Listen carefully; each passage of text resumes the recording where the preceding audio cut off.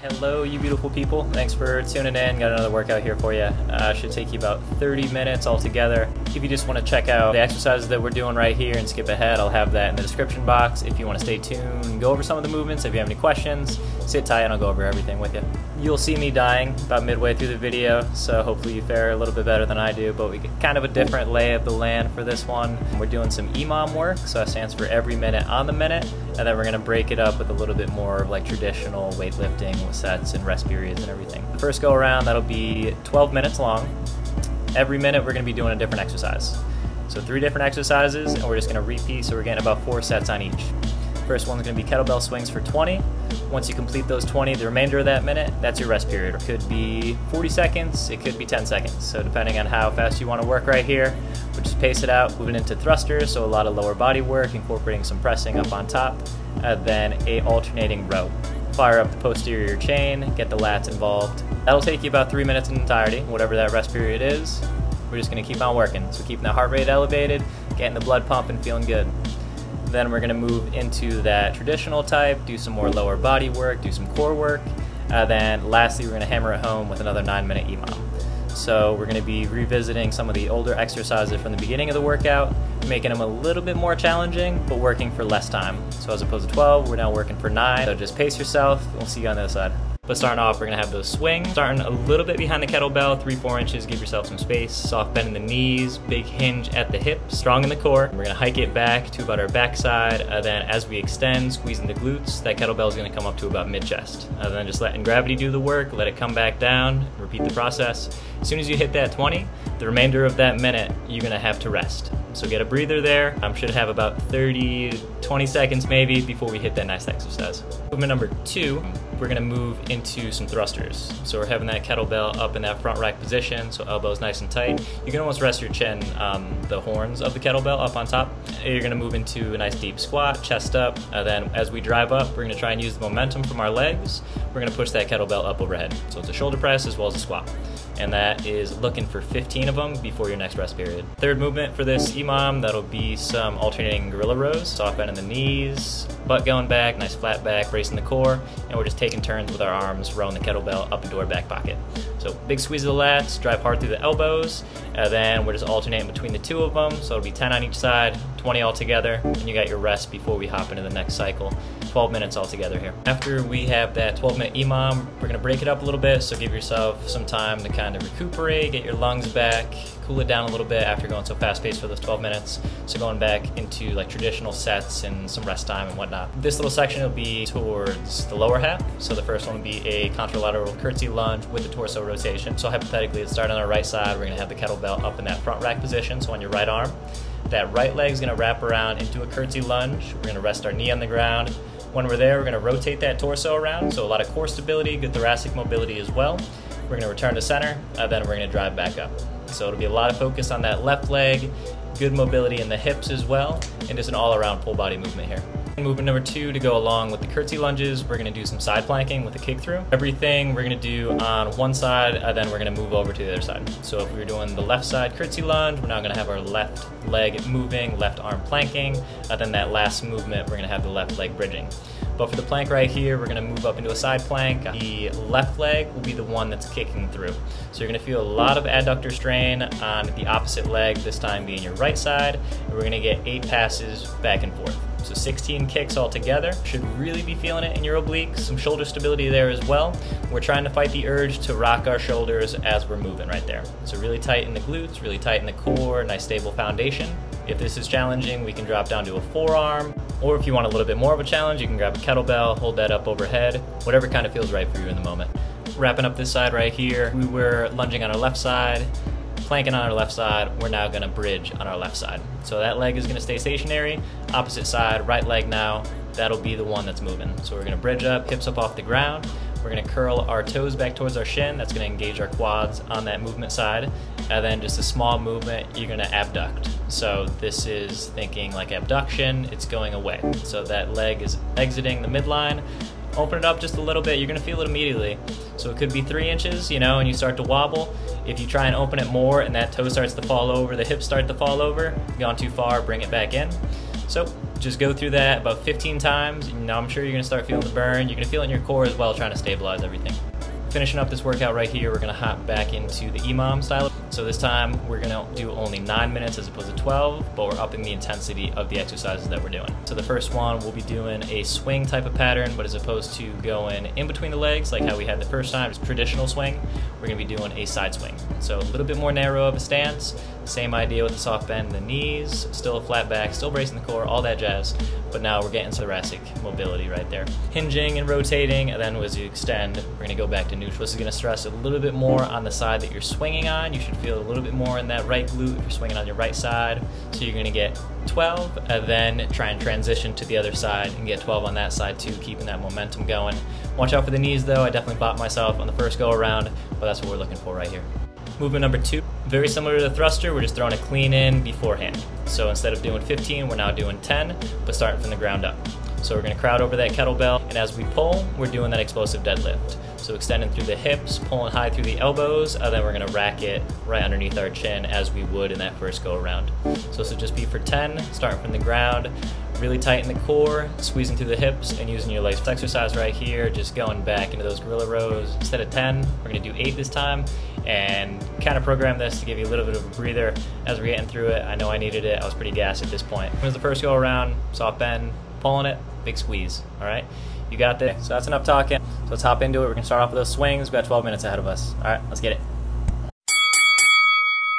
We got a long 12 minutes ahead of us, so let's pace ourselves. Let's breathe. If you need water, grab water. You do have the entirety of that minute to get those reps situated. So just be mindful of the form and let's chug along.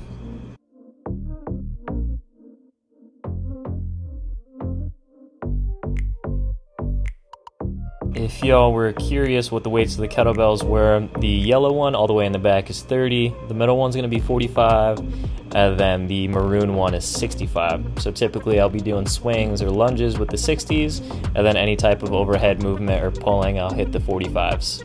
Especially with this one where there is a high volume with it, I will kind of tend to be on the lighter side.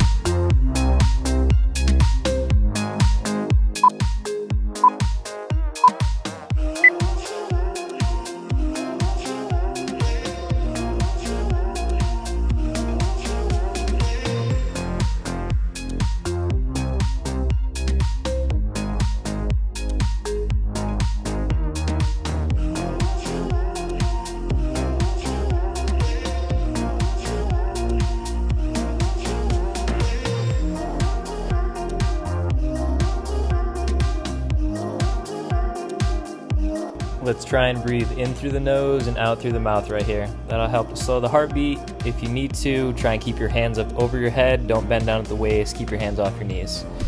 Almost there, halfway.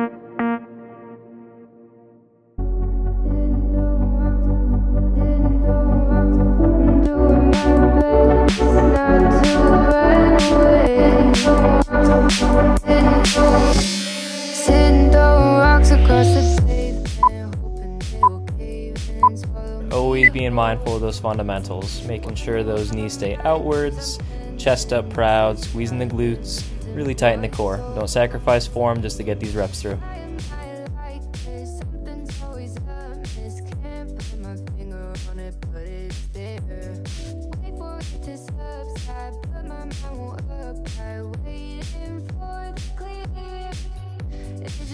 the bones decay I don't know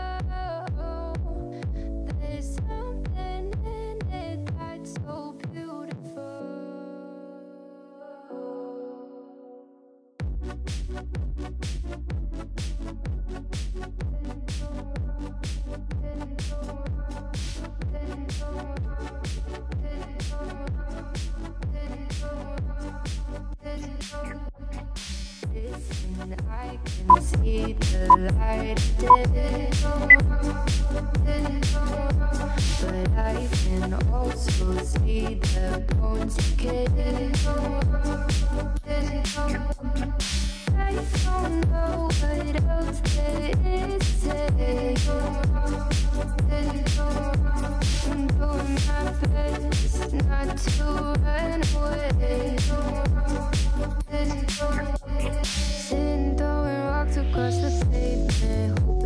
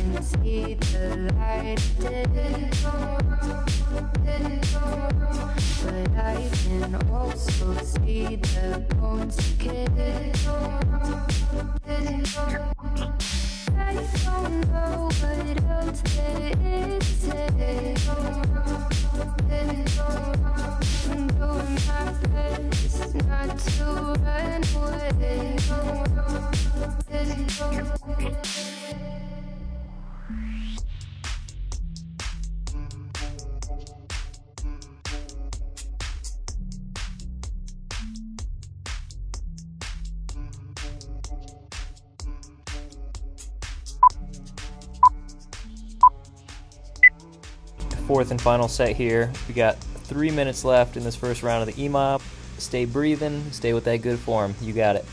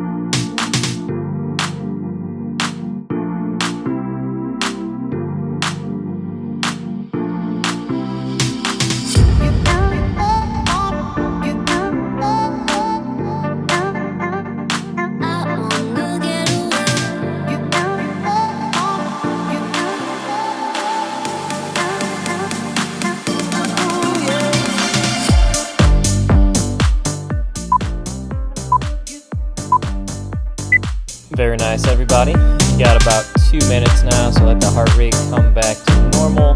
Get yourself some water. Stay moving. You don't want to cramp up at all. We're going to move into the more traditional side of weightlifting, if you will. So we got a couple of sets here. We're going to have more regimented rest periods in between before we hop into that third section. But right now, you get a couple of minutes, so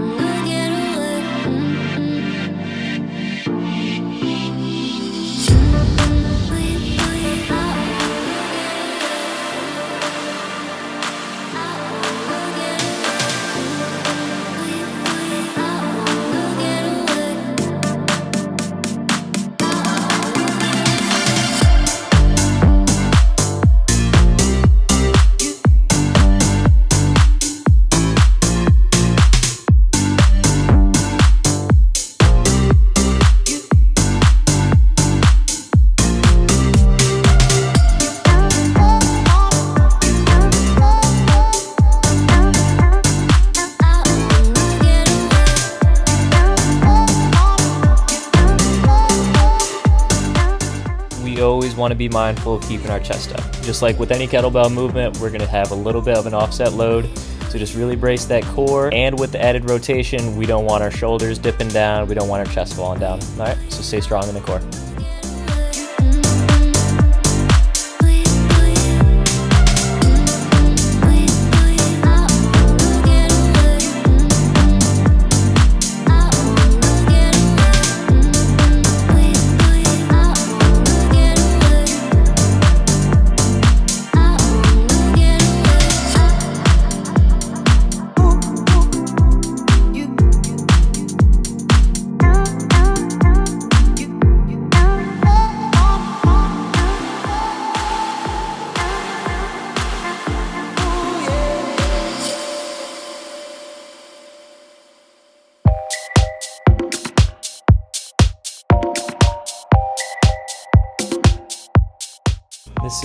Excellent movement if you are looking to get better at twister, good in the obliques, and strong in the shoulders as well. So let's get through this one.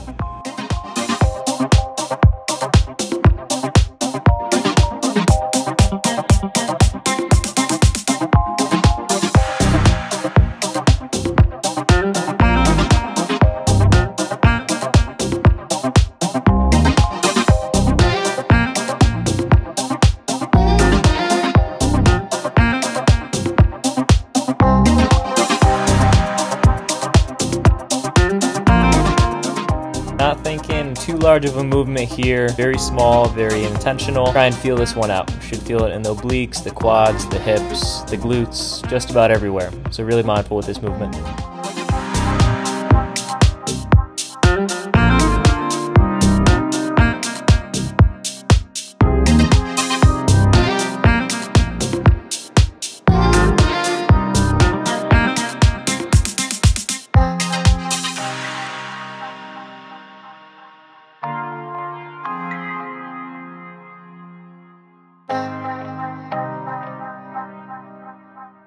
Let's be mindful here with this movement. Our torso doesn't want to rotate anymore. We find our head kind of reaching around, the eyeballs going. That's just our head playing tricks on us, trying to get ourselves a little bit more mobility. You know, keep an eye on that, no pun intended, of where your shoulders are. When your shoulders stop comfortably moving in that torso rotation, then that's when it's enough and you can bring it back home. So I don't want you reaching that neck all the way around and looking out of the corner of your eye.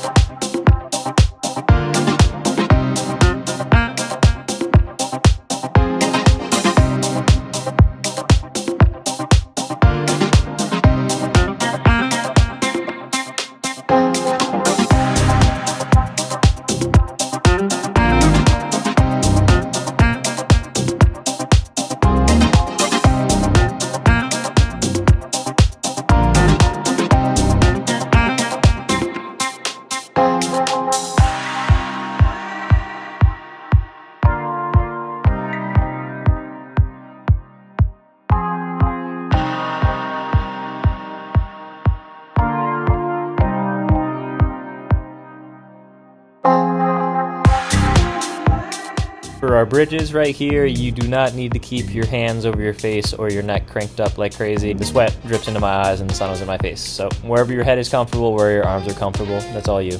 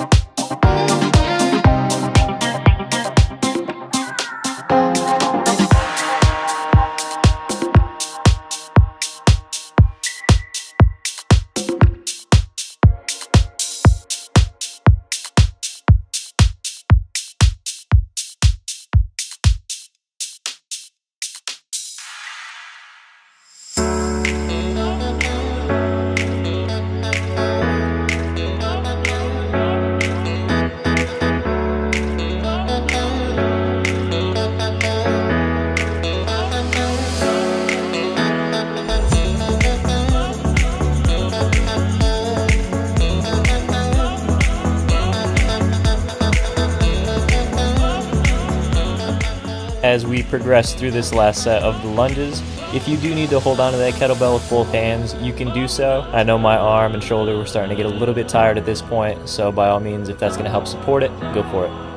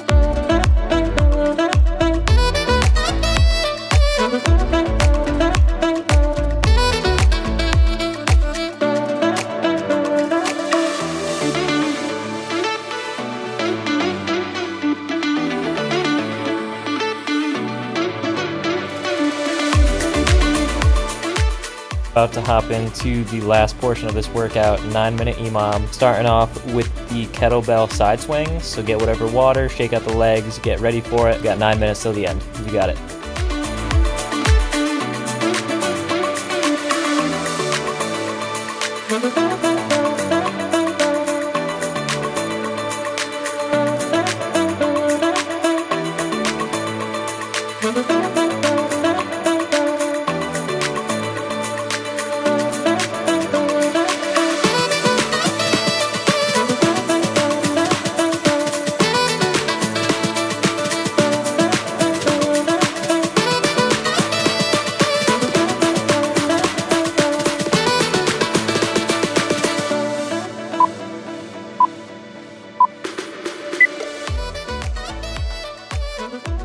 This second go around, we may have slightly less rest periods than our 12 minute section in the beginning. So just be very mindful of breathing, pace yourself out, finish strong.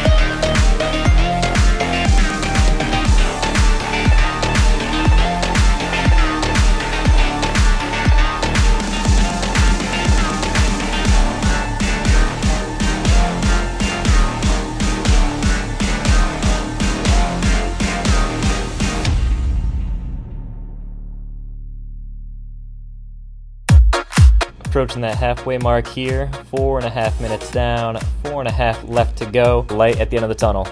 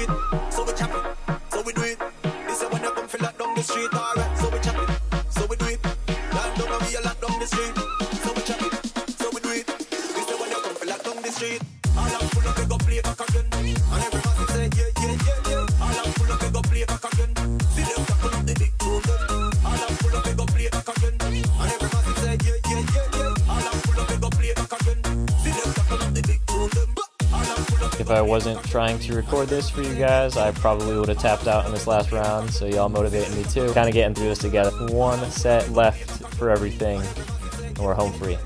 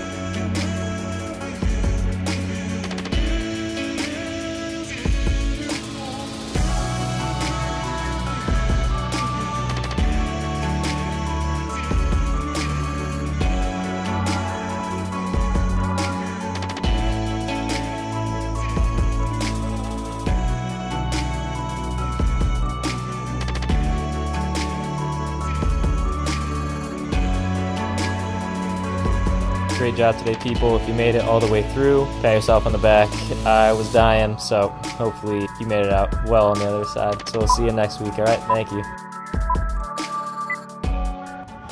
Good job out there, y'all. Um, if you made it till the end of the workout, good on ya. That was a good one.